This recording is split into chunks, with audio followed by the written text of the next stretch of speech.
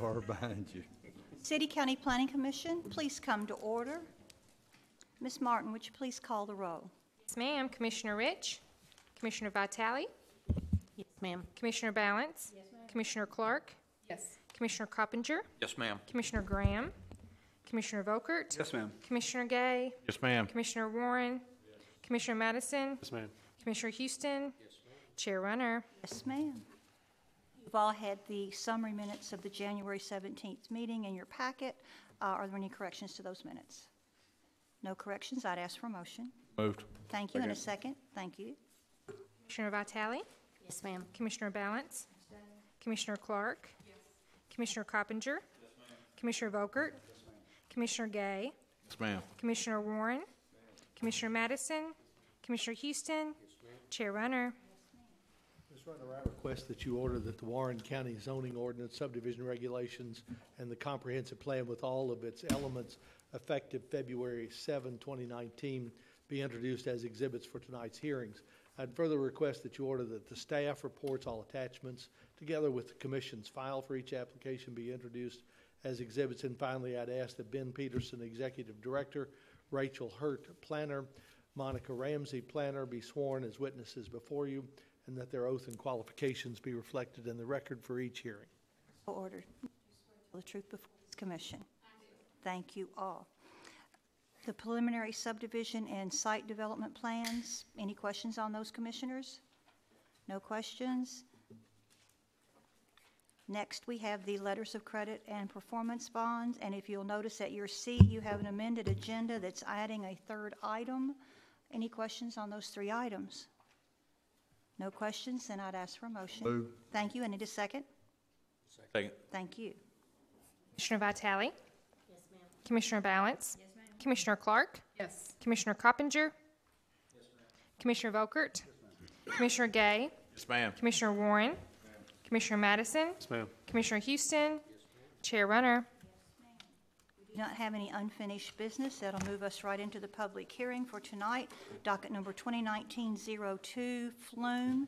Keystone Development Group LLC has filed an application for a future land use map amendment containing approximately 39.1132 acres located on tracts of land at Zero Veterans Memorial Lane, 2337 Russellville Road with frontage on Hickory Street and Walnut Street located between Veterans Memorial Lane, Russellville Road, Stonehenge Avenue, and Robin Avenue from high-density residential, commercial, and mixed-use residential to commercial and high-density residential. And also on docket number 2019 uh, 04ZBG, those same applicants have filed to rezone that same tract of land of the 39.1132 acres from agriculture RM3, which is multifamily residential, highway business, and floodplain, to RM4, again, multifamily residential, highway business, and floodplain with a general development plan. And we will have the staff report from Ms. Hurt. Thank you, Chair Runner. We had a pre-application conference on August the 29th for the property you just described, located on Veterans Memorial Lane. You can see that the current zoning of the property, as you mentioned, is a mix of agriculture, multifamily, highway business. There's a portion that's also located in the floodplain. And as you mentioned, there are two applications this evening. The first application is to con- uh, to consider amending the future land use map. I know there are a lot of different classifications you mentioned, but um, basically, just a brief summary. The smaller outline here up front, uh, the applicants are proposing to amend this area from mixed-use residential to commercial, and then the remaining portion of the development that's the larger outlined area kind of in this general location, they're all, uh, they are proposing to amend all of that to where it's all high density, which is this red color here, and I'll get to a little bit more about each classification here in just a second. You can see that the current use of the property is agricultural and vacant, and that there are surrounding, uh, the properties surrounding the area are a mixture of single family, multifamily, there are also some commercial uses that are scattered along Russellville Road and some pockets of industrial uses as well. With that, I'll go through the future land use map categories on page two. Starting off with the high-density residential land use designation, which consists of areas occupied by multifamily housing, including higher-density duplexes, townhomes, apartment buildings, and condominiums. Densities exceeding eight dwelling units per acre are encouraged in this future land use category. High-density single-family may also be acceptable at five and a half dwelling units per acre. The mixed-use residential category applies to areas where taken as a whole, the primary land use is residential and a variety of housing types and densities balanced by complementary retail, office, institutional, and civic uses. The, the distribution of land among these various activities shall be implemented through specific zoning with standards addressing the form and character of development to ensure compatibility. This designation applies to the historic core of downtown Bowling Green or urbanized areas being redeveloped with the primary use as residential where complementary commercial and services are provided in a contiguous area. Here, development standards should be tailored to emphasize an urban character and a mix of intensity of development appropriate to this unique center of activity. When proposed as part of a mixed use development, commercial uses should comprise only 25% of such development. Standalone commercial developments should not exceed 10% of any contiguous area designated as mixed use residential. No commercial footprint should exceed 10,000 square feet. Compatibility should be assessed by applying policies in LU 113 in conjunction with a general development plan. And then last, we have the commercial future land use designation, which consists of a broad array of commercial development, including individual commercial businesses that may exist along a highway corridor or a business district, as well as larger planned shopping centers and office parks. Limited high density multifamily uses are allowed to be mixed into commercial areas. These uses should be limited to upper stories or blended in or scattered among commercial uses.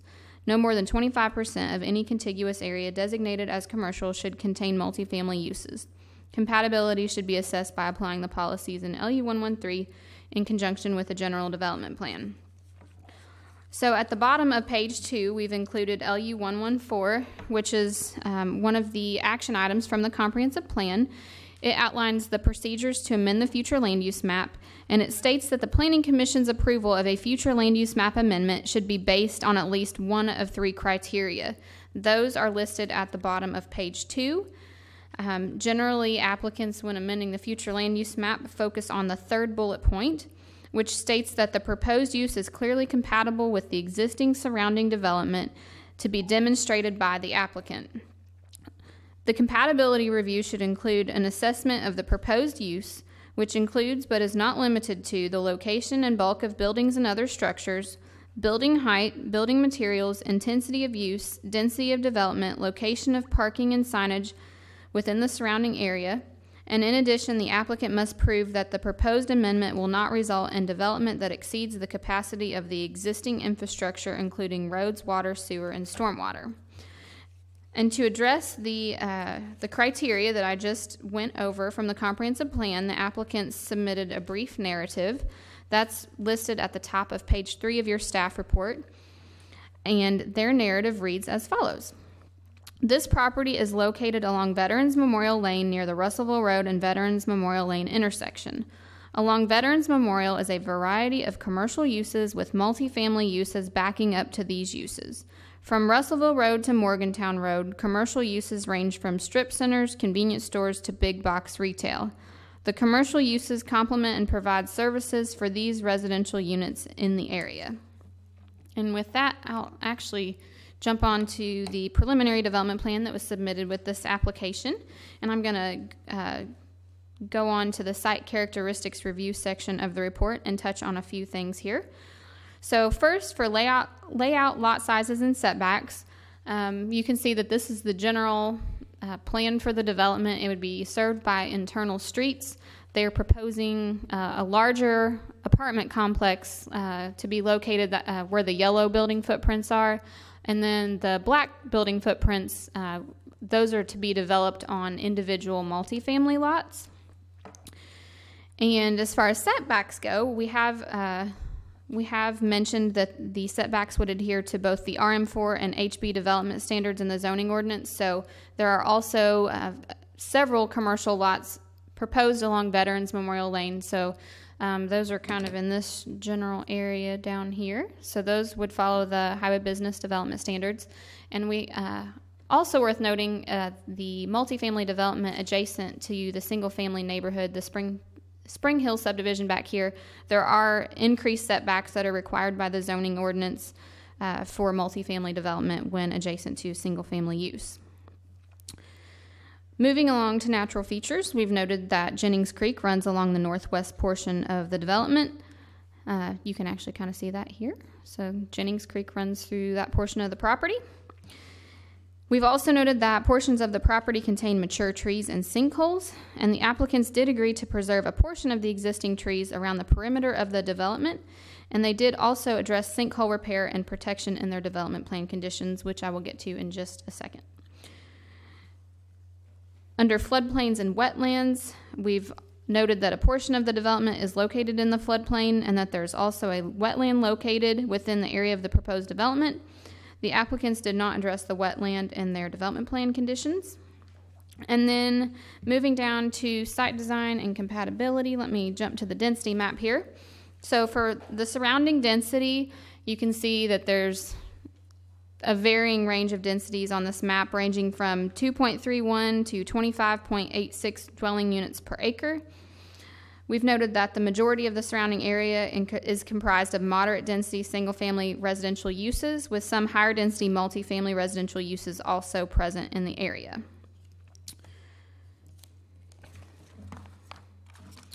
Moving on to page four, there's a few more things I'm going to touch on from this section.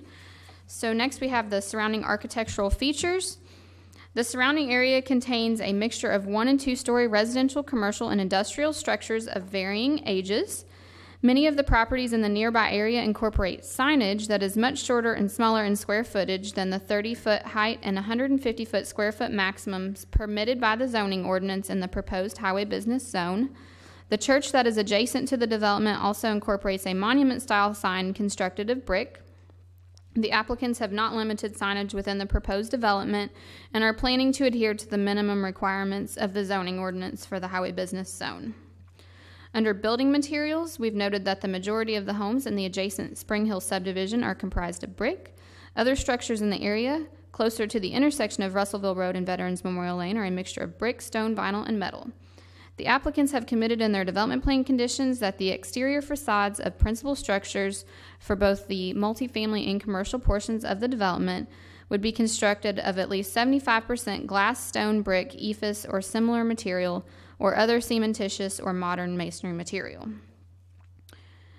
Under building orientation, we've noted that buildings along Veterans Memorial Lane should be designed with a front facade oriented toward Veterans Memorial Lane, or at least appear to face Veterans Memorial Lane. And then buildings along internal streets within the development should face internal streets. The applicants did address building orientation in their development plan conditions for the highway business portion of the development and committed that structures located on lots having frontage on Veterans Memorial Lane would be designed with a front facade oriented toward Veterans Memorial Lane. Under proposed open space, we've noted the minimum requirements in both the highway business zone and RM4 zones. And we've also noted that the applicants have committed to construct a clubhouse, pool, and other amenities to serve the large apartment complex. You can see there's a pool and clubhouse kind of shown in this general area there. And then under connectivity, we've noted that the development is proposed to connect with the adjoining Spring Hill subdivision at both Hickory Street and through a cul-de-sac at the end of Walnut Street. So there's a cul-de-sac proposed here at the end of Walnut, and then Hickory Street is here, and they're proposing a connection there as well. Moving along, uh, under the traffic impact study section of the report, we've noted section 314 of the zoning ordinance, which outlines the requirements as to when a traffic impact study is needed. Um, and it also goes on to say that the traffic impact study requirement can be waived if the public works and transportation agencies can anticipate the impacts of the proposed development and any necessary improvements that may need to be made. So um, they have worked with the applicants and have waived the traffic study requirement in lieu of certain improvements that they're anticipating that the applicants will coordinate and have approved through their agencies. They did actually, the applicants, um, even though the traffic impact study was waived, they did also submit a signal warrant study, which was completed in January, and it was completed by Cannon and Cannon. And we did include excerpts from the section of the evaluations and conclusions portion of the signal warrant study. And this stated that a traffic signal warrant analysis based on the Manual uh, on Uniform Traffic Control Devices, MUTCD, was conducted at the proposed intersection of Veterans Memorial Lane with the main development access. So they're talking about this entrance into the development here. The analysis indicated that MUTCD warrants are all projected to be satisfied under full build out conditions of the proposed development. Furthermore, additional traffic from the existing subdivision would likely utilize the new Hickory Street connection to Veterans Memorial Lane, which would increase the projected volumes at this intersection. Moving on, uh, I'll move into the development plan conditions that were submitted by the applicants. There are two sets. One is for the highway business portion of the request, and then the other one is for the RM4 portion of the request. So, number one, for this is we're going to get started with the highway business development plan conditions. So, number one, all service utility lines will be located underground. Number two, the property may be developed with a maximum of 250,000 square feet of commercial and/or office space. Number three references that building material requirement that I went over just a second ago. Um, I'll also note that they have prohibited plain face block as a visible finished material. Number four, the property will be developed with uniform lighting for travelways and parking areas, and lighting will be designed as down lighting, shoebox style, or wall pack lighting. Number five, again, any traffic improvements would be coordinated and approved by the appropriate Public Works Department or Transportation Cabinet. Number six, the following uses shall be prohibited adult entertainment, any sale, rental, or display of pornographic material, bar or lounge except in connection with a restaurant, commercial parking, self service storage, used car sales, and vehicle repair, unless in connection with a new car dealership. Number seven uh, mentions that they are planning to adhere to the highway business standards and the zoning ordinance for signage. Number eight, new structures constructed on the property will not exceed four stories in height. Number nine uh, addresses the building orientation that I just referenced to, referenced on the previous page. And then number 10, all common open space and drainage basins shall be maintained by the developer until 50% of the project has been completed, at which time the developer has the option to transfer maintenance responsibilities to the owners association. Next, I'll go over the RM4 portion of the development and those proposed development plan conditions. Number one, all service utility lines will be located underground. Number two, the property may be developed into a maximum of 662 dwelling units. Number three, again, addresses building materials and prohibits plain face block. Number four, the property will be developed with uniform lighting for travelways and parking areas, and lighting will be designed as down lighting, shoebox style, or wall pack lighting. Number five, again, deals with those transportation improvements.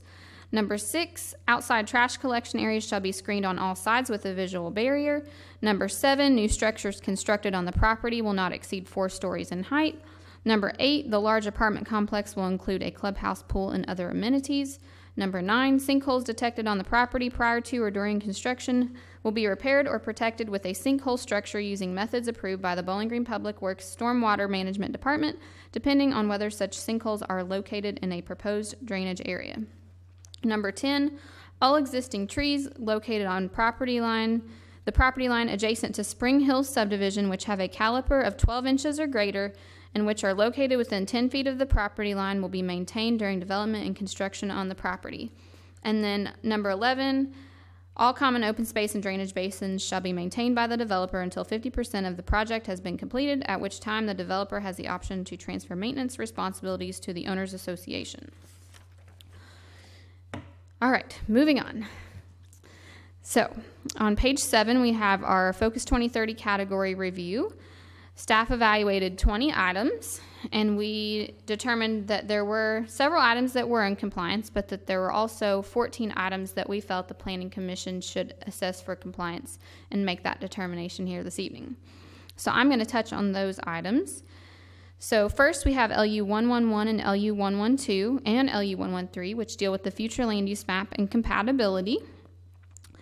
The Planning Commission should determine if the proposal is compatible with the area and if it complies with these items. Next, we have LU2 and LU2.1, which deal with quality of development and character preservation.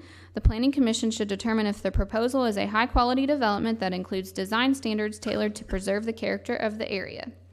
Next, LU211 deals with open space, which encourages increased open space standards to ensure that an adequate amount of such space is usable.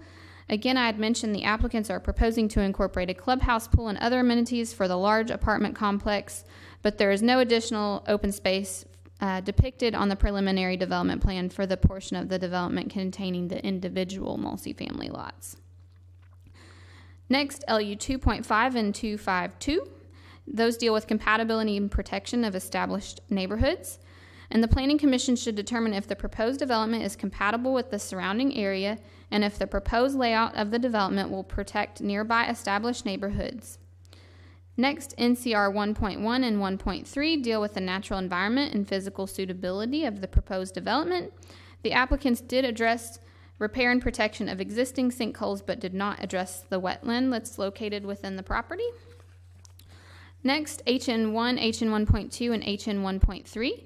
Those deal with infill development, and the Planning Commission should determine if the proposal is a compatible infill development that will maintain or improve existing character, development patterns, and urban design, and if it will strengthen the existing area. And last, ED1, which deals with economic development, and the Planning Commission should determine if the proposed development will result in an additional business that will help to diversify the local economy. And with that, I think I'm going to jump back to page one and I'm going to finish up with our points to consider. Number one, the Planning Commission should determine, sorry, should consider if the proposed development is clearly compatible with the existing surrounding development as demonstrated by the applicants to warrant the future land use map change from mixed use residential to commercial and from mixed use residential and commercial to high density residential. If the future land use map amendment is approved, the highway business portion of the proposal would be consistent with the future land use map and the commercial category, and the RM4 portion of the request would also be consistent with the high density residential category if deemed compatible with the existing surrounding development. Next, the proposed development complies with the majority of the site characteristics review criteria. And then next, the proposed general development plan complies with the majority of the review criteria for site design and compatibility and meets most of the requirements in the zoning ordinance. I do have a few more things to mention, um, kind of in light of recent correspondence with the applicants earlier today. Um, the development plan conditions, as I stated earlier, limit the maximum building height to four stories but re- recent communication with the applicants has indicated that the buildings shown on this proposal are only planned to be three stories in height. Next, um, we've also noted that the number of units shown on the concept plan exceeds the number of units permitted by the development plan conditions. And then also, we've noted that if the individual multifamily lots contain three story buildings, there is not enough parking shown on the concept plan to meet the requirements of the zoning ordinance. And I believe that is all I have for the report. And I will also mention that I think you should have a letter from a property owner from the Spring Hill subdivision who was unable to attend the hearing this evening. So that is there just for your consideration as well. And I'm happy to answer any questions. Thank you, ma'am. Commissioner, you have any questions, please? Rachel, Wait, Go ahead. go ahead, Nick. Chris. Go ahead. No, you go ahead. So if I understand correctly, everything in black, um, this whole tract of land was, an- is RM three, correct? Right now? Yeah, let me jump back to the zoning map. So the majority of the property is currently zoned RM3. You can see there's a little strip of agriculture here, Okay. and then this little portion out to Russellville Road is currently zoned highway business. Okay, So we're looking at trying to take the whole tract to RM four and, and the part of the commercial. Right, so this would be, the proposal is for this smaller piece here to be rezoned to highway business, and then everything else they're proposing to rezone to RM4. So can you go back to the, um, the, the, so, my first question is gonna be the units up front who are not part of the apartment complex. Will all those units be uniformed and like we did on Three Springs Road, where they'll all have to be the same brick, same roof? Um, I mean, look identical is, is probably the first question I have. That would be a good question for the applicants. I, I'm not sure what their intentions are as far as design or, And are those, as on the design right now, are those eight plexes, or those sixteen plexes, those twenty-four plexes? It's my understanding that the yellow building footprints, those are 24 plexes, Okay, eight units per floor, three stories tall. Okay. And then the buildings with the black footprints, it's my understanding that those are 12 plexes, three stories, four units per floor. okay, and then the other question I would have, do the black, the units in black there, do they have access to the clubhouse and the pool? That I'm not sure. The applicants would have to answer that. Where's the highway business? That would be these, um, these five lots here, kind of in this general area. Back up to those par- parking lots. Yeah. So these parking lots in the rear would serve the commercial buildings that they have shown up front. They, they did commit in the development plan conditions that the, for the commercial buildings, that they would be designed with a front facade oriented toward veterans. So right now, way it's proposed, how short are you in parking? Uh, hold on, I can tell you.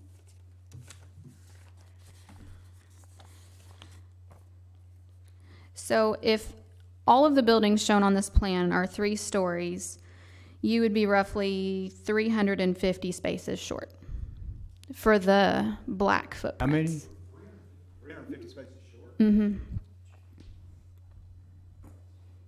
If these were two-story buildings, uh, there'd only be about 25 spaces that we're missing. Can you point with your pointer on where the entrances and exits, exits are on this? Sure. So this is the main entrance they're proposing to the development. Off. So this is veterans here. So that would be the main entrance, Okay. and then they're also proposing a connection back here with. I always get Hickory and Walnut confused. That is Hickory. So they're also proposing a connection here with Hickory, and then there's a cul-de-sac planned here off of Walnut, and then there's an adjacent development here that they're also proposing to tie into. Nothing off Russellville Road, correct?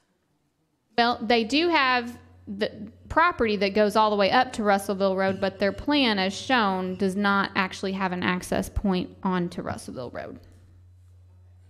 Emergency, fire trucks, ambulances, everything, their entrance would be off Veterans.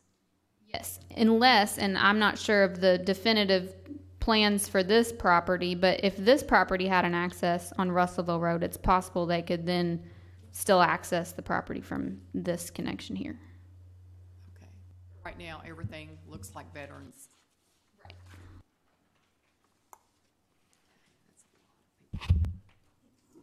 So we're, if, if proposed, as Christian said, we're three hundred and fifty parking spaces short. Yes.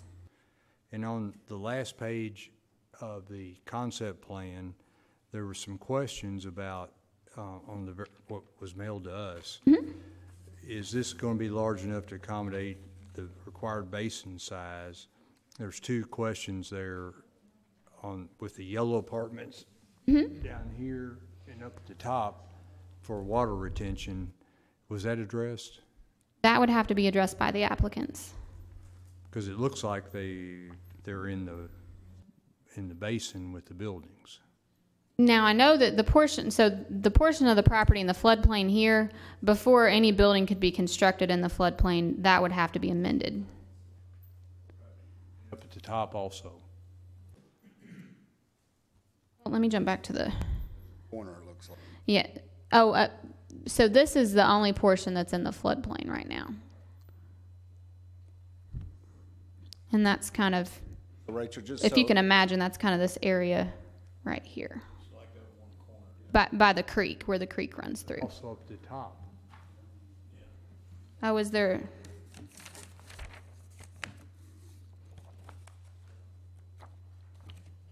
Talking about the notes from the Public Works Department that's in the, in the staff report, your last page Very last of the page. staff report. Oh, oh. Oh, I think they just made a note if the basin is gonna go there, but I, I'm not sure that, you would have to ask the applicants what their plans are for drainage. So Rachel, let me just ask one other question on parking. How many units should it be for adequate parking? So, if if we're looking, so it's really the individual lots where the parking kind of gets to be an issue. From what I can tell, this portion of the development with the parking that that they've provided would would meet the requirements. But then when you get over here, these are uh, if they're 12 unit buildings and they each have two bedrooms, you would need a total of let's see. Well, I did the calculations for the whole thing, but there's 638 spaces that are provided for the whole development. And if these are all three story, 12 unit buildings, they would need 996 spaces total. And so they would be roughly 350 spaces short. Um, So would they need to go down to two-story instead of three-story It- to make it- up the difference? if they were two story buildings, they would still only be around, well, they'd be around 25 spaces short, but you could probably squeeze those in somewhere, I would think. That's 20 spaces is is doable, yeah. Not just one section, but from three stories on both. So, Well, right now, this section as, as proposed at three stories with 20, 24 units per building, if you kind of were to, to divide it in half, this would meet the parking requirements for this section. It's basically everything once you get on this side of the main roadway there, that's where the, the parking becomes an issue. And if those were lowered to two stories, then that would be much closer to meeting the requirements. Those we would have to determine as we know the use, um, and then just to calculate the parking once the use is known. So, obviously, you guys as staff had communication with them about being this short on parking. I actually just found out today that those were three stories. I thought that they were two all along, and so when we looked at it initially, we knew that the parking was a little bit short, but then it wasn't until today that we realized they were three stories. Fair enough. Any other questions before we hear from the applicant? Thank you, ma'am. Thank you. Thank you so much. And we'll hear from the applicant. If you'd state your name and address for us, please. Thad Lucas, um, 555 Dunbarton Avenue, Bowling Green, Kentucky. And you swear to tell the truth I before this commission. Thank you, sir. I guess we'll jump right into the parking to kind of clear, clear that up. I had told Rachel that we, the individual lots had the option to go, we texted, so, or emailed. They have the option to go to three-story, but obviously each individual lot will have to make sure they have the adequate parking. So when we did this concept plan, it's based on an average two-bedroom unit on the 600 662 total units. So. How, how many units in the, in the buildings in the black? Uh, well, it, it, it, each individual unit, each individual lot owner will be able to make that determination based on, you know, if they, um, want an eightplex or if they would want to do a twelveplex, then they would have to make sure that their lot, that they purchased had enough acreage and size to cover that parking, So, so. so all the lots are not gonna be the same size? That's correct. That's correct. Um, I mean, obviously, we've got a layout there that is, um, it's based on what Rachel said. It's, it's looked at an average of an eightplex, two-bedroom units. So, So if that was the case, you could have six plus, sixplex, eightplex, twelve. fourplex, a twelveplex, right. And, and to kind of, I guess I may ans- answer a few questions. Um, we've got the, the idea is to have a couple of different building styles that, um, buyers can choose from. So we, we've actually got John Williams with Williams Architects to make sure that the entire development works together from the commercial side, the multifamily side with the apartments, and then even the individual lot owners will be tied to restrictions that, that coordinate brick styles, colors, so that it looks like a uniform development, not a bunch of individual eightplexes But they kind of run them up. But they could be different colors. There could be a variety of colors, but again, that would, that would work together. Um, you know, we don't want a, a pink house over here and a, a purple house over here and a. Who determines that? It would be determined by the, uh, the developers as a group. So we'll have the, and basically an architectural review committee with John Williams being part of that to guide that, uh, I guess, that creative side of the development. Let me just go ahead and ask the question that's gonna come up here in a second. Sure. Will y'all be willing to go to uniform buildings and uniform style, color, roofs, uh, windows, that everything matches? I would, I would say we would be able to, as long as we get some options in there. I mean, if we can say, okay, hey, there's three or four options of We're- no, that style. No, I think what we're asking, will y'all be willing to go to one style, one color, kind of like we did on Three Springs Road, some other things have come through, uh, Scottsville Road, some other, I mean, the last year, year and a half, I think we've tried to do a really good job of making sure everything looks uniformed. And uniform meaning the same. Well, I think if you, if, if you do that, you do take away some of the creativity of being able to get, I, I think you can be uniform in a look, but still have the ability to have some different styles intermixed. Um, I guess in my mind, when I think uniform, I think square blocks as an engineer. I think of just, oh, we got a bunch of red buildings out there. Uh, when you say uniform, I think of Cave Mill Road apartments. When you drive by and you look over to the right and you see that big long red streak of red brick, not very attractive from Cave Mill Road. I'm look, talking about where the Dollar General store is. That's all uniform, but it's not really that attractive. But if you look at some developments where you have some different architectural features, I guess I just want to make sure that we're, if we say uniform, we're not losing the ability to have some architectural creativity, I guess. But architectural creativity is in the mind of, Right. I, yeah. Uh, I mean, not, I mean, I, I, I- I'm just, I mean, I'm just speaking for myself. sure. is, um, I can see that being a mess. Yeah. Yeah, I, I because you guess. don't want to see thirty-four different buildings. No, no, no, no. That There is would be, there would be a, there would be a, a set, like if you wanted to do a fourplex, here's a fourplex ha- building you could have. If you want an eightplex, here's an eightplex building. So it would be all four- designed. All fourplexes would be the same color? I would say generally, yes. I mean, again, it's I, I, not. It's either yes or no.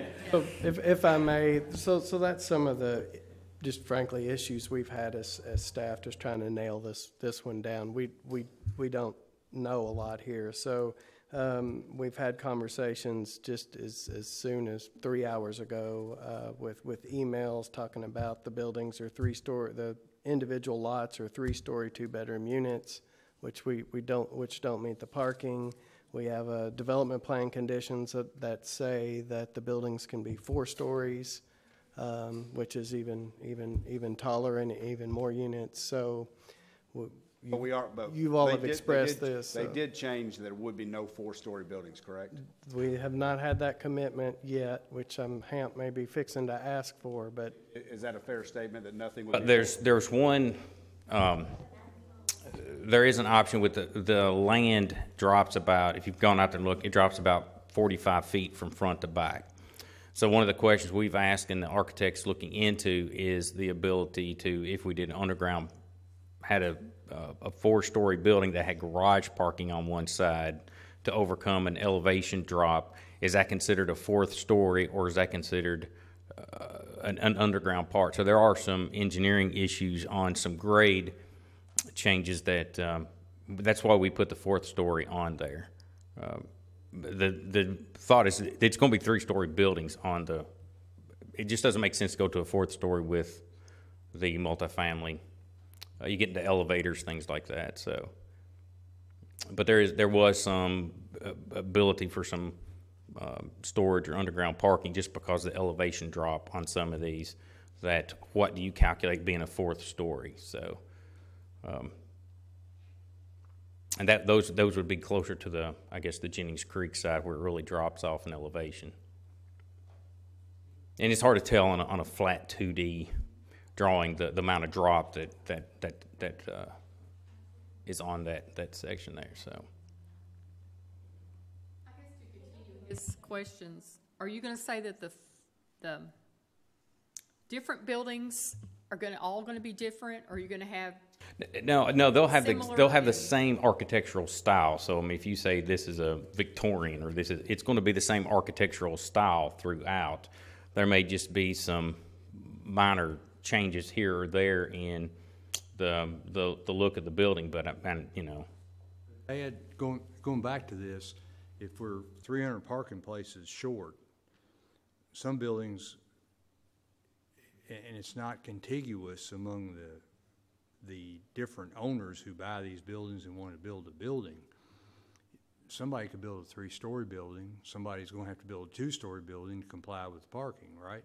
That's correct, that's correct. You're only gonna be able to do what you can do on your lot. Well, Okay, so, so, just, in what we've seen in the past, it would make sense to say, okay, if we're gonna do this, everything should comply with the, the height and the amount of parking.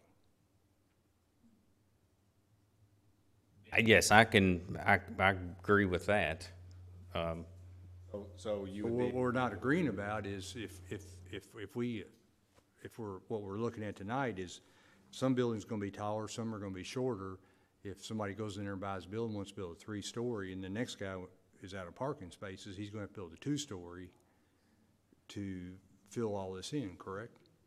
Well, right. For, for an example, some of the lots are larger than, than other lots just because of the shape. So a smaller lot, you may only be able to do an eightplex, and that's all, to get your parking on there in your building. But if you have a larger track, and you want to do a 12plex and arrange your parking to get that, and you do that third story, then we did not want to, uh, prohibit that from them. I, I guess the, kind of how this moved through, it was an RM three zoning, there's no binding elements. Uh, You go out there and build a bunch of eightplexes. We can build, you know, just doing the raw math, you can do six hundred and sixty-one units on the current RM three zoning. Uh, we're wanting to do the RM four just to allow us to do the apartment complex and to give some more flexibility in the building styles, and, and we're requesting six hundred and sixty-two units, which is basically just one more than we'd be allowed to do in the RM three section. Uh, we're trying to just give some ability to have some, uh, instead of just saying everything has to be cookie cutter, this is exactly the way it looks, trying to give a little bit of, of, I guess, ebb and flow to, to get a, a I guess, a unique, uh, project.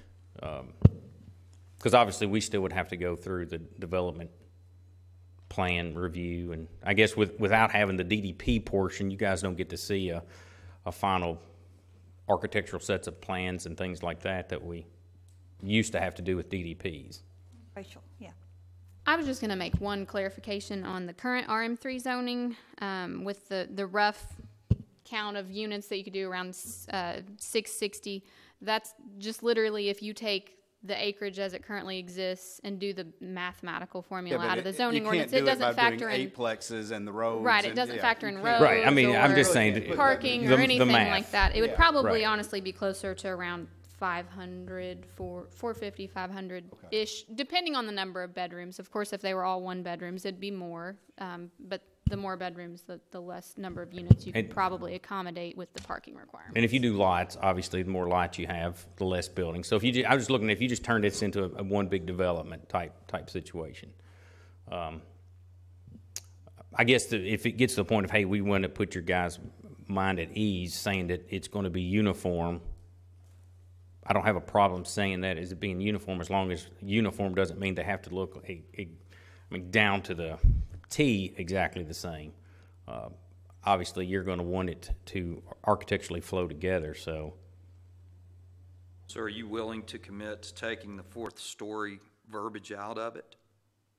I don't have a problem with that. Are there any plans to sprinkle any of the three-story All of them have to be, anything that goes three-story has to be sprinkled. Okay, That's just state, making sure. state reg, yeah. Okay, Right, just right. wanted to hear it, thanks. Mm-hmm. I mean, I, I mean, I'm gonna ask the question again, would you commit to all the buildings being uniform, meaning look the same?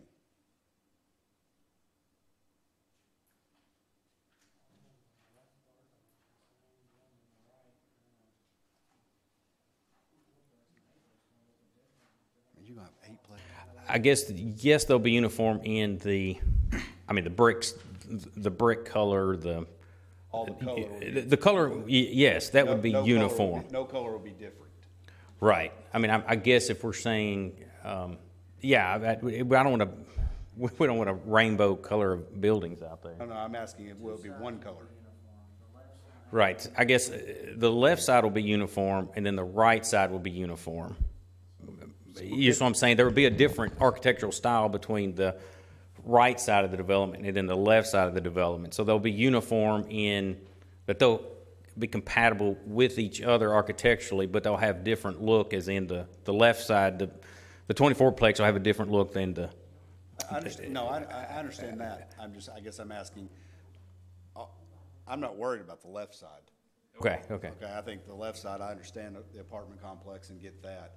I'm, I- I'm, I'm more talking about the right side is, Yes, we will definitely want to control, I, I I guess you're going at that. We want to control that. We don't want 24 different kinds of colors and buildings out my, there, my yes. question is, if y'all pick slate gray, all of them are gonna be slate gray.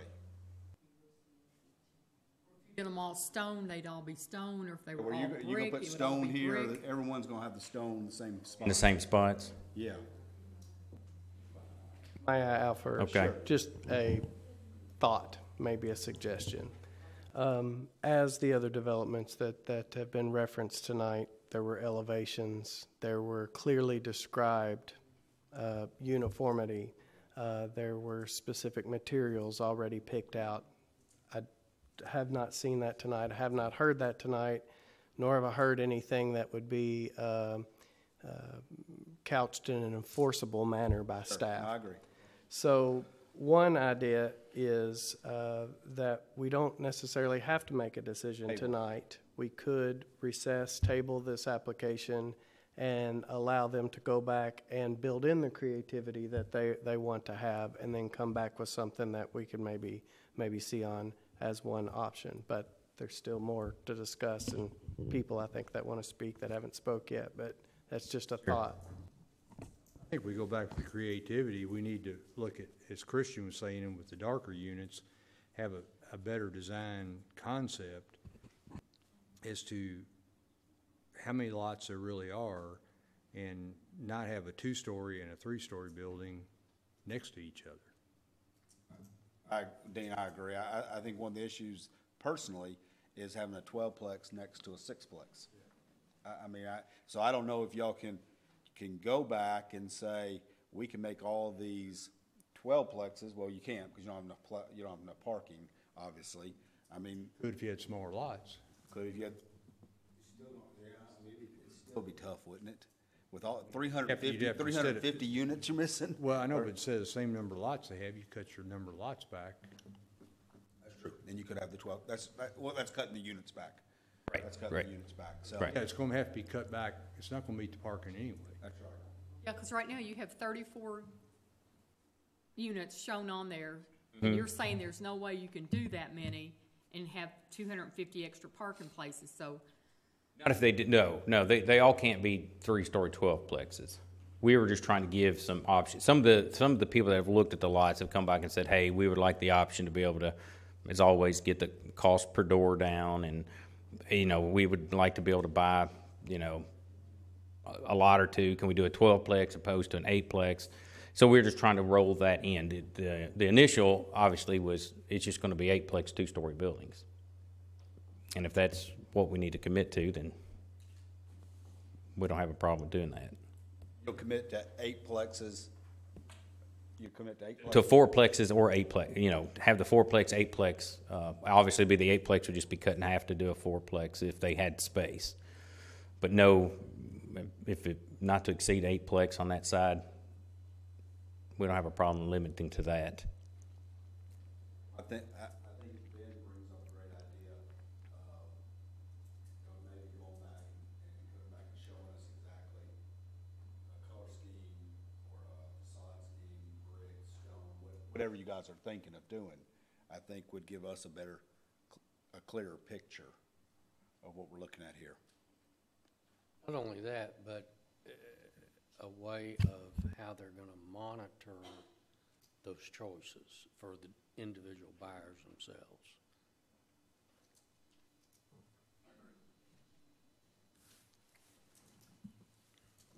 Anything else? Well, if we are going to do that, do, do you want to take care of the one item in the uh, binding elements or the uh, general development plan, or do you want? Just do it all at that time? Okay, we'll do that. Uh, would, then we would need a motion to, we, we have people in the audience. Do we need, let us hear from those people then, if we may, before we make a motion to, uh, yes, sir, I think it would be a good idea those folks opportunity to speak. Mhm. That, that they can address. Thank, thank you, thank you, Mr. Lucas. Do we have opposition tonight? Show of hands for opposition, please.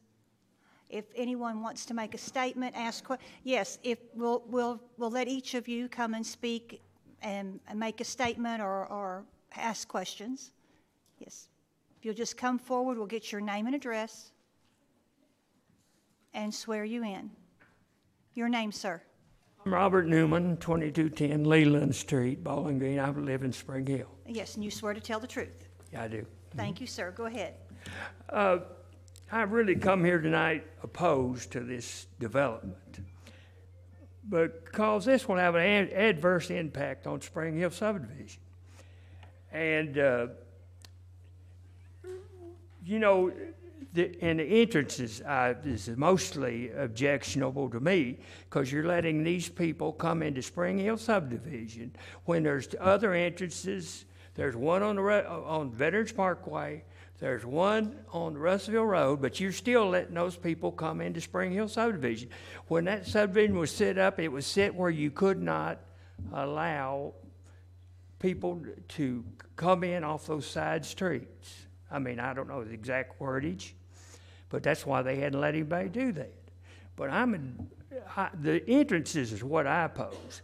Why wouldn't an entrance on Russellville Road be enough and one on Veterans Parkway? How many more entrances they need? That's the main roads. Instead, they'll be coming up Spring Hill and speed, they speed up there now. And there all, what, six hundred apartments coming up that road? That, to me, that's pitiful to allow that, them to do that when that was never allowed before. And, uh, I mean, that's a major objection I have. I mean, they're probably gonna build it anyway, but uh, if you would, I would, I wish you would consider that. Thank, thank you, sir. Okay. Sir- Sir, yes, uh, and, and I know you won't love the answer, but the, that's a connectivity issue, and that's not taken up here. Is that correct, Well, Ben? oh, s- so, yes, that is cor- the correct answer. Um, Also, emergency access. Yeah, issue, so, too. so there are these typical con- connectivity issues, but uh, this, um, uh, this body, uh, staff has also, has routinely uh, talked about the compatibility uh, of multifamily with single-family and that they are incompatible uses. So when incompatible uses are, are deemed, then, the, then there's no requirement to connect.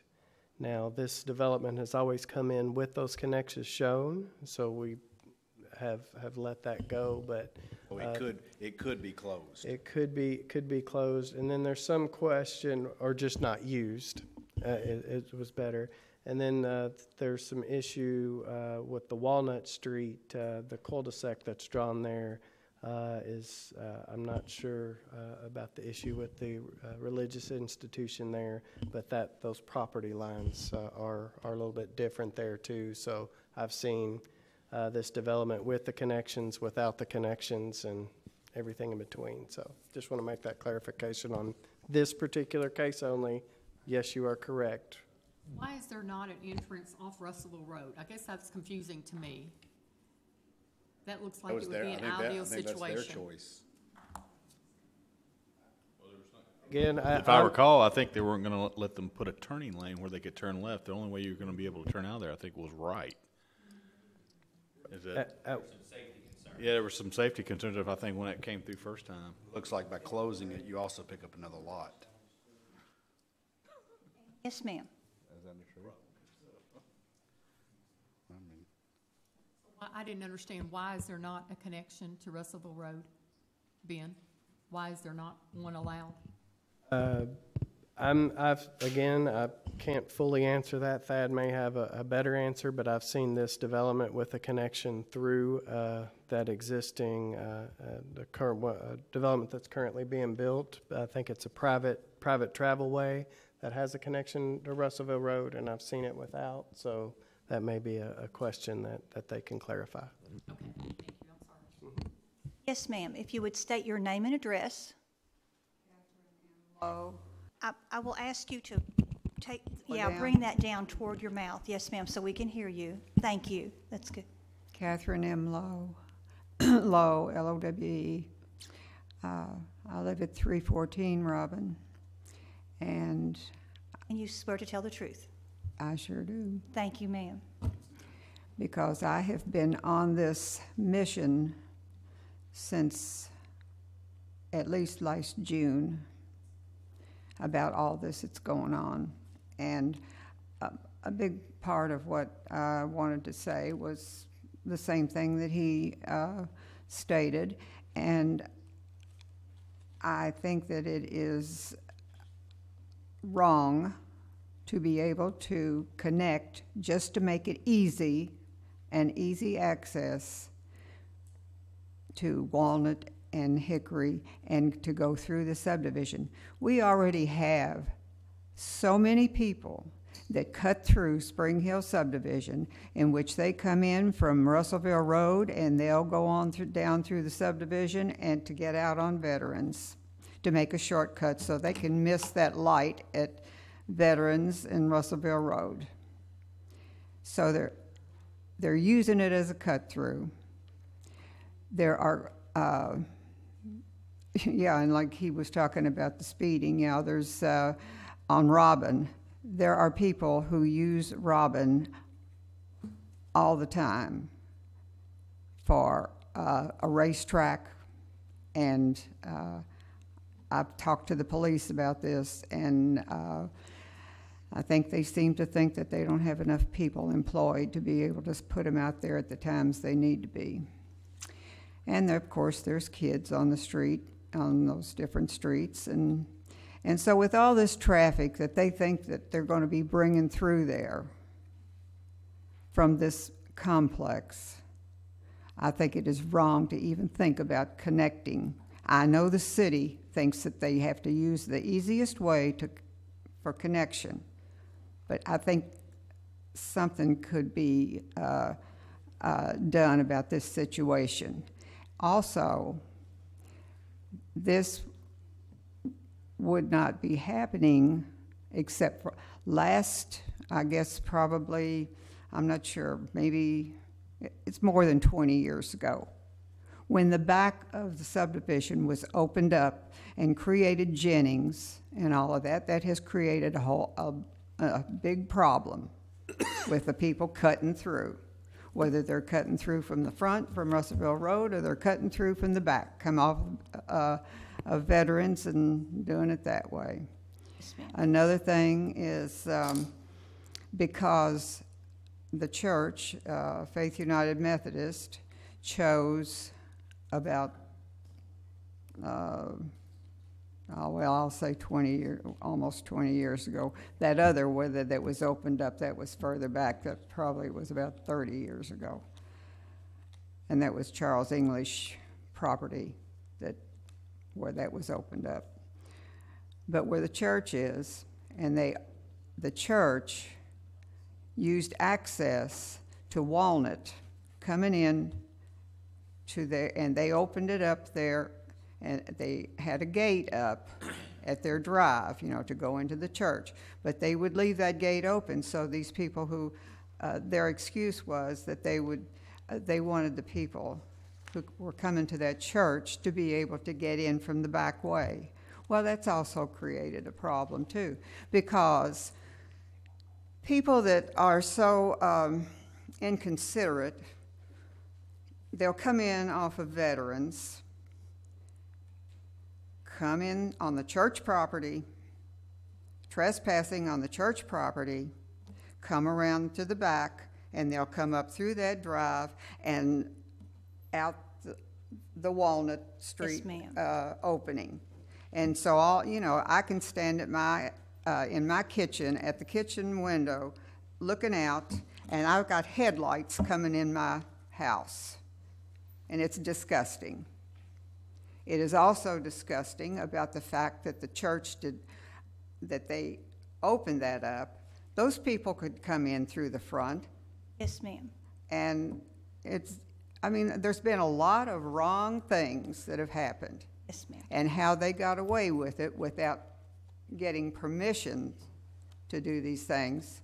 They just did it. We, we are discussing the subdivision that's being proposed tonight, not the, the church. We can't Well, help no, you. I'm talking We- about the things that happen that affect Spring but- Hill subdivision. But we have no control over, over that. All You- right. You understand that.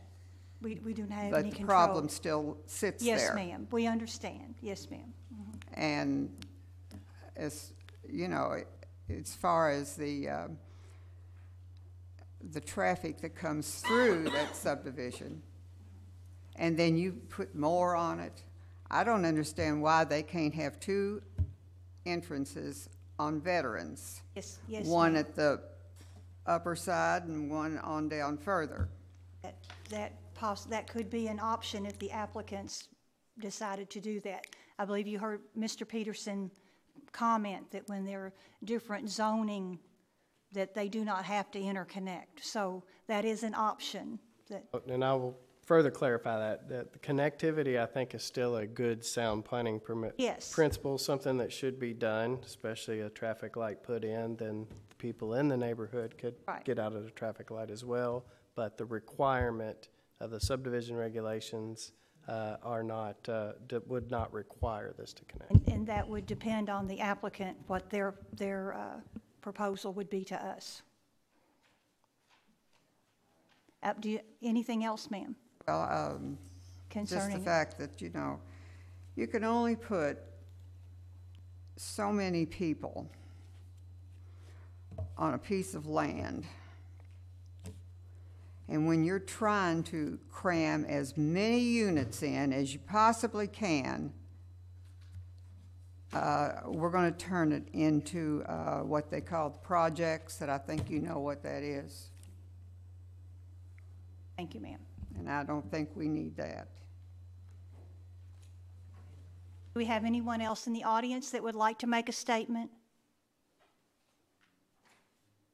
No one else? So I think we've heard from everyone. Anything else, commissioners? Might Just reference one more uh, phone call that I received uh, just right before the meeting. It was concerning sidewalks. Um, uh, Sidewalks in the development, uh, of course, are are required, but it was also concerning, uh, this this person said they weren't opposed to the development if sidewalks were going to be part of the development, but then also sidewalks installed uh, in the existing neighborhood, which I- we we uh, we cannot require that, obviously, uh, for the for, for obvious reasons, but I, I did tell that person that I would relay that to the commission as well as the developers, uh, that the sidewalks were, were, uh, were, uh, desired through, through the existing neighborhood as well as in the new development, but if sidewalks weren't gonna be put in the neighborhood, that they were, they were opposed to it, so. Okay, okay. Without some the nuance there, sidewalks so. in their neighborhood, okay. So are we going to motion tonight? If, if that, yes, well, Do do you care if I, because No. there's other things we'd like to talk about. Yes, We don't have a problem committing to eight plexes and being uniform throughout. Um, It's what we're just talking about back here, so we don't have a problem doing that. I also want to address the the drainage, since we're here, if we could go ahead and just hit a few things that we're talking about. The, the blank area up at the top by the, the one building that Mark Absher was talking about, that is, if y'all know, that's a big rock quarry that's out there right now. It's about forty-something feet right behind those houses. You walk through the trees, I mean, it's, it's a dangerous, dangerous thing. So unfortunately, the property drops from up there down, so only a, a, so much drainage can be diverted to that, that area. So uh, our proposal is to fill it- that in, flatten the slopes to make that a safer uh, area up there, but also to use it for drainage purposes. Uh, Then there's also, I'm not sure how to put, do you push the middle What area are you talking about? You're, I- you're totally go. confusing. Right there. That's the, I- there's a big, uh, ro- there was a rock quarry there years ago. And it's, so, it's, it's a one-to-one slope right up against the residential subdivisions without, there's not any fencing, no protective, um, anything. So you just walk right out of your backyard, you can drop straight down. So our, our proposal is to obviously drain what we can up into there, but then to shallow it up, flatten out the, um, slopes to make it maintainable and obviously safer. Then there's already been an easement purchased right here from these property owners to install a large basin there. And the one thing you can't see here, there is a proposed, there, it's under construction right now on the old Wabob property. Right here is a cul-de-sac, and then there is two large buildings proposed that were provided to us by that lot owner that it's gonna be multifamily. And, um, he requested connection through to this development because we were, we were trying to get a light here, uh, so that they would have an outlet for, for Russellville Road to connect to that, uh, that intersection. So we want a traffic light right there and, um, you know, are in discussions with the highway department on trying to get one installed there as soon as possible. Obviously, there's some lane changing and striping that has to be done here. We've already submitted that for the to the highway department and gotten preliminary approval on that.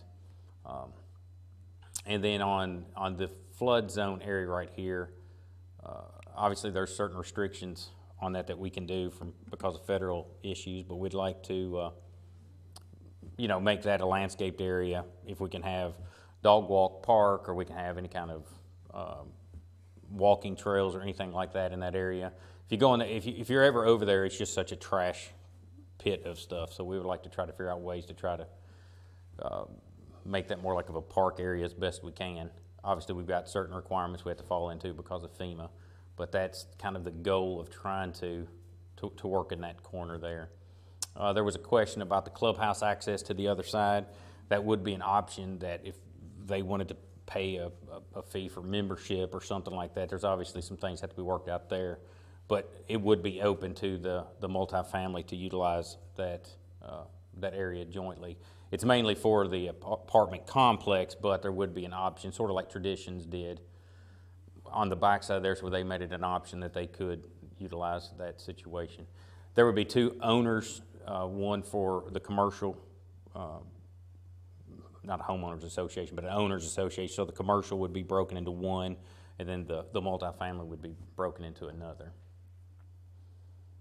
Uh, what about the question that came up? Would you all be com- willing to commit to putting an access off of Russellville Road?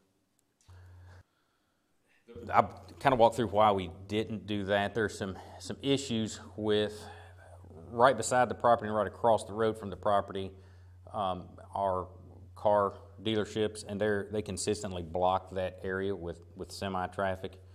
And, uh, there were some site issue concerns with how far the, the signal backs up. And then there's also about a five to six foot elevation grade drop coming into the property. So we, we didn't put a connection there due to, uh, site and, and connection concerns. There's also a, a sign right there, a um, billboard sign, and the gentleman that parks all of his sales cars parks it all the way out to the sidewalk. So you, it's just difficult seeing left and right out of that uh, location. So we decided not to put a, an access point there. But if you've got single family there on Robin Avenue, single family homes, don't you see their concern about having twelve hundred cars coming that way? I mean, if people started, especially the ones toward the back there, if they start using that, isn't that gonna be a concern? Well, that's why we, we, we had Cannon and Cannon to look at that, and their, their thought was that traffic would be flowing into this light from, you wouldn't have traffic coming from this development going up. You would have traffic coming from this development down and through to get to this, this light. Um, that was their recommendation. Then I know there was some concern about this cul-de-sac, while we have a cul-de-sac there. It's actually a platted right-of-way right now without a, without a cul-de-sac being constructed. We were gonna construct that, instead of requesting the city to build it, we were gonna uh, connect that there. We've had many conversations with the church. They don't want connectivity to their property. Um, from, you know, we had proposed connecting there into their parking lot uh, to allow them to get to the light, and they really didn't want any kind of connectivity between the two properties if, if at all possible, so. The church is used to a lot of traffic going through there, where the single family, they really have issues with that, and that, You don't see that as a, be easier to go through the church area than it would be going through these single-family homes with kids and stuff out there? Off Well- of Hickory and off of Walnut. Well, Hickory is, I mean, we've talked with the city, these are city streets, and, and the city would like to have connectivity down to Veterans Memorial. Uh, that was a discussion we've, we've had with them. Um, so we're trying to, obviously, got the city public works, trying to work with connectivity there, then also with the state. The state would, they also told us they did not want us to connect to the church and bring any traffic through this, uh, connection here. Uh, That was negotiated for the church when they widened Veterans Memorial, and it's only allowed for the church to have access through there. So there were, there were some extenuating circumstances why the connections are the way they are. Uh, let me ask you, are, are- are you asking us to vote on this tonight, or are you? asking- Well, I wanted to walk through, I mean, if, if saying, hey, if we have to postpone and come back in two weeks and bring some materials, that would be the better thing, make you feel more comfortable what you're looking at, have no problem with that. But I thought if we can go ahead with people here, we can go ahead and talk through things, if there's other things we need to address. Um, I, I, from my standpoint, I think you, I'd like y'all to, s- I'd like to see y'all come back with, with what you're planning on building, uh, kind of a, an idea that we can look at. I mean, are they all gonna be, they're all gonna be eight plexes, they're all gonna be this color, and how many Okay. units really is that? How are we with parking? I think there's just so many unknowns, uh, for us to vote on it tonight, in my opinion, but, th- uh, that's just my opinion. I concur. Obviously, we want it to be a successful development, so uh, we want to make sure we put everybody's mind at ease. So if that's, I think makes the most sense, we're willing to do The that. old Wawa property, w- y- you were, you were kind of referencing that, so are you saying that's, that is for certain, that it's gonna be an access? We also? had that in our original concept plan, and, and we were requested to remove that because that really wasn't our development. But, but we had shown that, uh, that, that men's group, um, living, I believe, is right here. It's already, it's already been constructed, um, the journeyman. And then, um, there's two large buildings here. The, the proposal we got, there was just two, I think there were forty-two unit buildings that were proposed here with parking, and they wanted an out, That, a that piece connection of, pro- coming that, out. that piece of property can have hundred and twenty units on it. Maybe it's hundred and twenty units. So their concern was coming out here right at this light would be just impossible. I think that was the one. Okay. A- And, so there, Yeah. We've, we've proposed to, to make a connection here on their property to, to allow them to, you know, obviously a better connectivity because the way this light backs up here. Right. I'm, obviously, I'm, I'm surprised they ever got an access point approved for that, but they did. On Russellville Road, On Russellville Road, right. yeah. turn.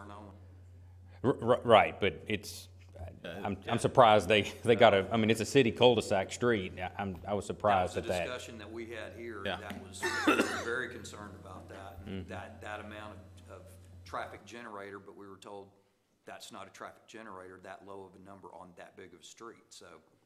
You know, we addressed that. That Technically, technically, yes, from the engineering standpoint, yes, but o- obviously the owner, we, we met with them and want to try to get another, um, connection there because we required- didn't have another connection on Russellville Road. You all weren't required to do any kind of traffic study with this many units and this many people? Well, we did a, um, we, we wanted a traffic light, and the city, and the state and the city said, well, in, in lieu of doing a traffic study, if you'll do a signalization study to see if it actually warrants a, a traffic light, then, then that's what we would like to have. Along with the other improvements. Along with other improvements. agreed- There agreed was- to on veterans. Th- th- That's correct. There's, there's lane striping that has to be done. There's, there's some work that has to be done on Veterans Memorial also.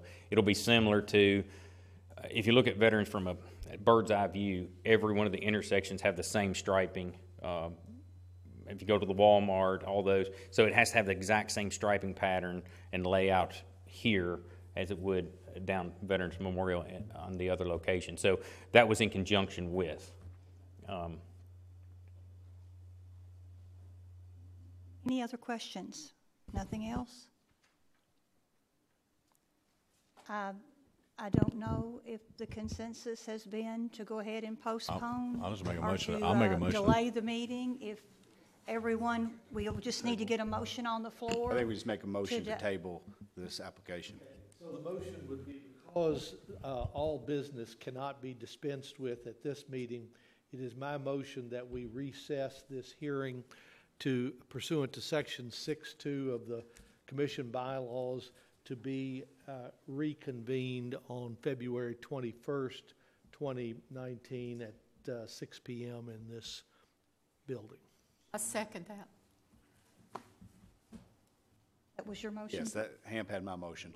Thank you. And He then we reads it so we much have better the than sec- I do. Just, we got our second first. I wanted to make sure we did have a motion. Thank you. Thank you. Commissioner Vitale, Yes, ma'am. Commissioner Clark, Yes. Commissioner Coppinger. Yes, ma'am. Commissioner Vogert. Commissioner Gay. Yes, ma'am. Commissioner Warren. Ma'am. Commissioner Madison.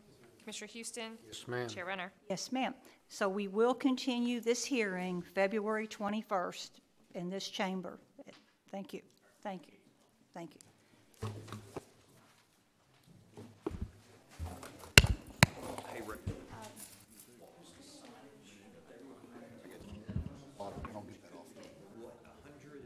30 feet in height and 150 square feet.